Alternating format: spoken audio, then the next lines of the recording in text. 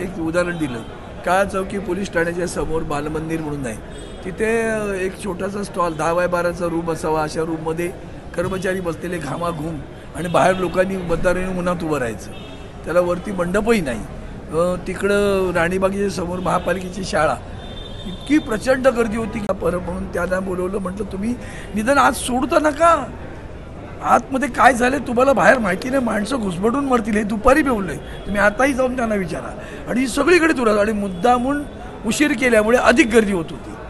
आणि काही कंटाळून जात होती. हा हाही एक काय हेतू होता का?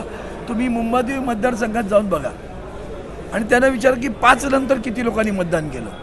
दोन दोनशे तीन तीनशे लोक रांगेत पाच वाजता. म्हणजे तीन तीन तास उभं राहून सुद्धा त्यांचं मतदान होत नव्हतं. हे सगळं जाणीवपूर्वक ज्या व्यवस्थेनं केलं त्या व्यवस्थेचा आमचा मनोर बळी असं मी समजतो. आणि याला शासन आणि ती व्यवस्था दोघे जबाबदार आहेत.